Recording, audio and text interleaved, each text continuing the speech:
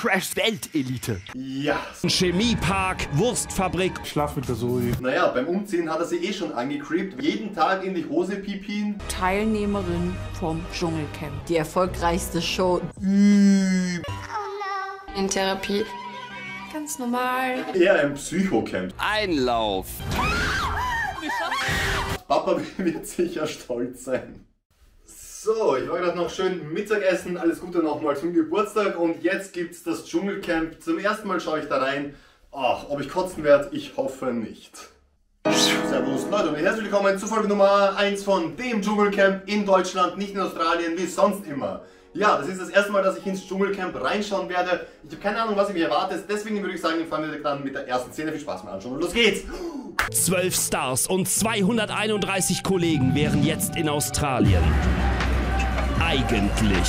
231 Personen, um ein Format zu produzieren. Da sieht man erstmal, wie viele Leute auf YouTube eigentlich Arbeit reinstecken müssen, um die Arbeit von 231 Personen zu ersetzen. In einem Fernsehstudio im malerischen Hürth. Hürt? Ja, Hürth, da wo die letzten 14 Staffeln auch gedreht wurden. Zwischen Chemiepark, Wurstfabrik und zerbrochenen Träumen Das ist doch perfekt, das sind die Lieblingsorte der Stars. entsteht hier die härteste Show der Welt. Die Show ist ganz neu, oder? Äh. Ist sie neu? Die Show wurde die letzten 14 Jahre, soweit ich weiß, nur immer mit neuen Personen aufgewärmt und direkt wieder serviert. Alter. Hey, das is it. Zwölf Bewerber geben alles, um ihre Dschungeltauglichkeit unter Beweis zu stellen. Die Kandidaten wurden dieses Jahr auch einfach nur aus anderen Formaten hergenommen und aufgewärmt. Nummer 1 Prince Charming, Nummer 6 Kampf der Reality Stars, Nummer 7 Ex on the Beach, Couple Challenge und jetzt auch noch hier. Nummer 8 Like I'm Famous, Nummer 9 auch irgendwo habe ich die mal gesehen. Nummer 10 ebenfalls Couple Challenge. Ja du, wenn man sonst keine Arbeit hat und von den Gagen der Shows leben muss, dann viel Spaß. Aber nur einer gewinnt 50.000 Euro und das goldene Ticket. Und natürlich sehr viel Aufmerksamkeit dem Haupttreibstoff im TV-Business, damit man für nächste Formate auch wieder gebucht wird und mehr bezahlt bekommt, weil man berühmter ist. Ich möchte es einfach in meiner Biografie haben. Teilnehmerin vom Dschungelcamp. Andere Menschen möchten Lebenswerke hinterlassen, die die Welt verbessern und RTL-Stars möchten ins Dschungelcamp. Naja, es, nicht alle Menschen sind auf demselben Niveau, ne? Überleben auf engstem Raum. Müssen alle zwölf Kandidaten auf 18 Quadratmeter leben oder wieso ist das sonst eng?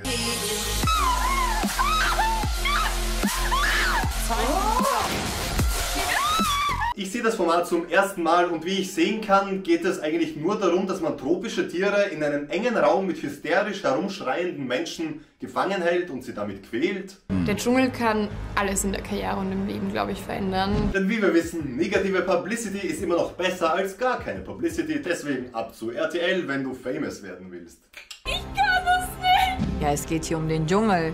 Die erfolgreichste Show. Überhaupt. Xenia, Gabriela, Florence, Sophie, Iris, Prinzessin von Sachsen, Herzogin zu Sachsen. Die Dame, die sehr viel unnützes Zeug labert und sich diesen Namen von einem sächsischen Autor schreiben ließ. Und wer gewinnt die große Dschungelshow? Ach, wenn ich mal überlege, die Kandidaten, die hier dabei sind, die heulen in anderen Formaten schon, wenn jemand ihr Frühstücksei weggegessen hat und sie dann Toastbrot essen müssen. Wie soll das dann hier gut gehen? Wie? Herzlich willkommen zu Das hier ist nicht das Dschungel! Aber es ist doch dasselbe Studio wie in den letzten 14 Jahren. Was ist denn anders heute? Und jetzt kommt die richtig gute Nachricht für alle, die Reality und Trash so lieben wie Sonja und ich. Ja, wir sind ja nur wegen Trash-TV da. Das ist nicht mal mehr Trash-TV, das ist eine riesengroße Mülldeponie. Ne, äh, wir haben dieses Jahr zwölf Kandidaten in der Auswahl, die gehören in dieser Kategorie zur absoluten, ich möchte mal sagen, Weltelite. Mir kommt vor, ich hätte gelesen, dass RTL Probleme gehabt hat, Kandidaten zu finden, die in der Show mitmachen. Und anscheinend haben sie dann einfach die Leute genommen, die sich einfach für nichts zu schade sind. Ja, Ja, und nach 14 Staffeln sieht man, sind die Moderatoren auch schon mit ihren Nerven komplett durch. Sie hat IQ 132 und ich bin schwanger. Ja, so viel dazu. Ab zur nächsten Szene. Sie wird nicht besser. Es, wird, es geht nur bergab in der Show. Es geht nicht bergauf. In diesem Jahr haben wir endlich mal keine Allstars, sondern zwölf frische, neue Gesichter. Neue, frische Gesichter, die letztes Jahr in etwa fünf Formaten zu sehen waren. Das ist so exklusiv, das gibt's nur bei RTL. Kandidaten dieser Güterklasse, ja, die findet man in dieser großen Kiste mit Bewerbungen, die seit Jahren beim RTL in der Ecke steht. es ist so geil, wie die Moderatoren die Kandidaten einfach so komplett runter machen und so als nutzlose Kandidaten für RTL darstellen. Wir haben einfach das Dschungelklo genommen und da das ganze Camp reingebaut.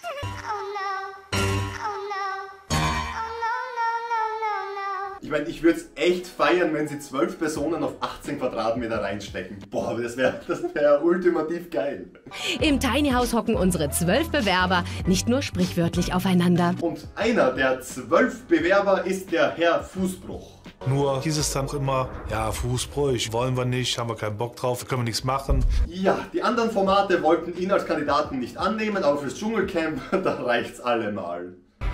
Was sind das denn alles für Wohnwagen hier? Oh. Die Tür geht nicht auf.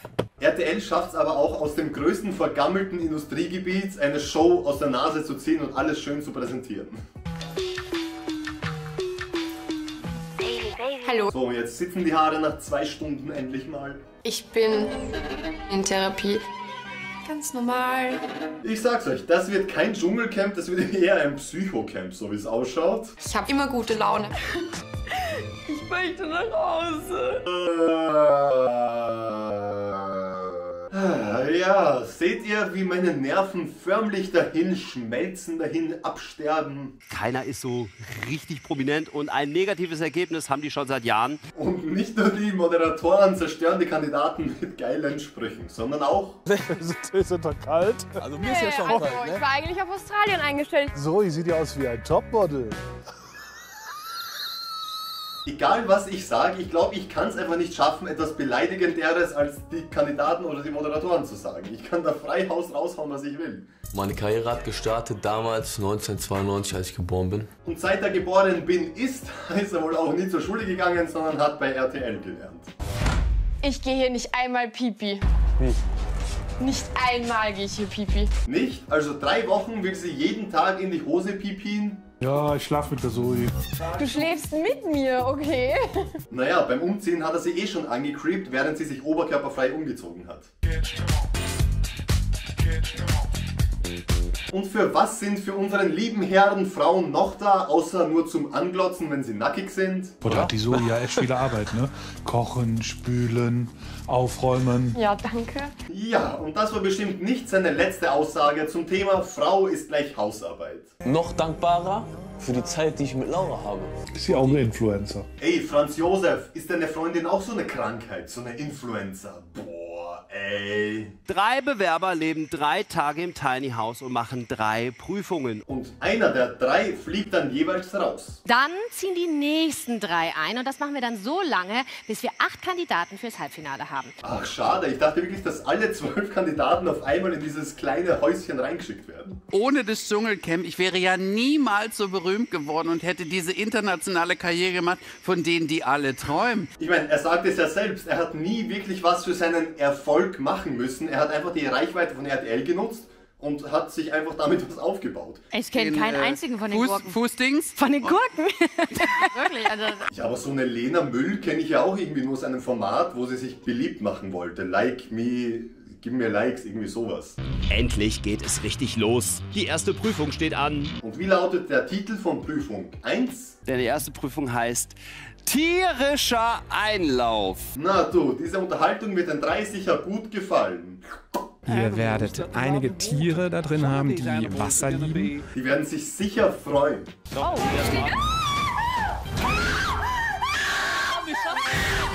Ne? Die machen nichts. Mach mal hier. Gibt es seit 14 Jahren keine Anzeige wegen Tierquälerei? Ich meine, die Tiere werden da mit hysterisch schreienden Menschen in eine kleine Box gesperrt. Wenn man einen Menschen zu einem Elefanten ins Gehege sperren würde, oh, da wäre gleich ein Aufstand da. Genau nach da, nach da, nach da rüber, nach da rüber. Links ist das. Genau. Links von dir, links von dir, links von dir. Die Zoe bekommt doch einfach gar nichts auf die Reihe. Sie muss sich jeden Lösungsweg genau erklären lassen und versteht noch nicht mal, was ihr erklärt wird. Kannst du tauchen und dir das unter Wasser anschauen? Nee, tauchen ist nicht so dein Ding. Oh, wie blöd. Tauchen ist nicht so ihr Ding, aber bevor die Challenge angefangen hat, hat sie noch das gesagt. Alles, was mit Wasser ist, davor habe ich recht wenig Angst. Ich hoffe, es wird irgendwas Sportliches oder mit Wasser. Herzlichen Glückwunsch, Ihre Willensstärke ist nicht vorhanden. Ja, dann tschüss, dann geh doch gleich wieder heim. Eigentlich möchte ich es ähm, zum größten Teil meinem Papa beweisen, wie tough ich bin. Ja, du, das hat sie noch fast geschafft. Papa wird sicher stolz sein. Stückchen noch, Stückchen noch und dann hoch, dann hast du den. Stückchen noch, Stückchen noch, Stückchen noch. Wirklich tolle Anweisungen. Er schreit Stückchen noch, Stückchen noch, Stückchen noch, aber er sagt nicht in welche Richtung. Das wäre halt auch mal gut. Bisschen Stückchen noch nach links. Du weißt, dass der Mund schließbar ist. Den kannst du einfach zumachen und, dann, kannst du unter Wasser. Dann kommt kein Wasser rein. Wer es gerade nicht ganz mitbekommen hat, der Moderator hat ihr gerade erklärt, wie man taucht, indem man den Mund schließt, weil dann kommt kein Wasser in den Körper rein. Der war falsch. Du, du musst wieder runter. Runter? Ja, genau, hoch, genau. Falsch. Scheiße. Ich weiß nicht. Sie ist unter Wasser, hat eine Taucherbrille auf, aber sie sieht anscheinend irgendwie nicht, dass das Labyrinth, wo sie gerade reinfährt, einfach eine Sackstraße ist. Ich weiß nicht, das versteht sie nicht oder. Die sucht in deinen Haaren. Sie sucht meine Haare! Ja, so viel zum tierischen Einlauf. Da ist sie wohl am falschen Ende, wenn sie in den Haaren sucht. Naja, 10 Sekunden. 10 Sekunden. Ist vorbei. Ja, warten wir noch. Sie hat's komplett verkackt und die drei Kandidaten haben am Ende nur drei von neun möglichen Sternen ergattert. Hast du gut gemacht, hast du gut gemacht. Ehrlich. Alter, wie viele Auch, aber auch nicht zu gut. Ja, sie hat's eh gut gemacht, aber sie hat halt leider nichts gemacht, außer die Tiere mit dem Geschrei zu quälen. Aber sonst hat sie alles gut gemacht. Ich hasse das, wenn ich nicht sehe, was auf mir drauf ist. Und wie ist es dann, wenn es in ihr drin ist? Alter, was kannst du schreien? Boah, ich bin fix und fertig. Ach, danke, Herr Fußbruch. Ich verstehe dich, dass du vom Geschrei fix und fertig bist. Du hast dir das ein oder andere Mal geschrien, Zoe. Es sind feine Kommentare, sehr, sehr fein. Deutschland 2021. Bei uns tragen die Mitarbeiter nicht nur Masken, sondern seit gestern auch Gehörschutz. Und bald auch Atemschutz, denn jetzt erstmal eine schöne, gesunde Beruhigungsstange. Der hätte einfach mehr von mir erwartet. Naja, sie hat sich leider doch nicht beruhigt. Sie bleibt selber von sich selbst sehr enttäuscht. Und ich wünsche, in der Hinsicht einfach mehr von meinem Papa. Blöde Sache, wein dich aus. Du hast ja 24 Stunden Zeit bis zur nächsten Folge. Indem ihr richtig reinhaut. Wir sehen uns nämlich gleich bei der nächsten Dschungelprüfung Zocklichkeitsprüfung. Also macht euch fit. Wir sehen uns gleich. Also wird es in Folge 2 eine Prüfung geben und Du, hast, du bist irgendwo ein bisschen kaputt im Kopf irgendwie, weißt du? wenn ihr diese gereizten Gemüter morgen um 11 Uhr nicht verpassen wollt, dann abonniert ihr gerne hier oben meinen Kanal, um am Montag das Video nicht zu verpassen. Schaut ihr gerne hier noch in andere Formate rein. Ich kommentiere einmal den Bachelor und einmal AYTO. Lassen Sie gerne einen Kommentar und einen Daumen da, um das Video zu bewerten und dann sehen wir uns in der nächsten Folge. Bis dahin, alles Liebe und ciao, ciao. Boah, am meisten tun halt echt die Tiere leid. Hey.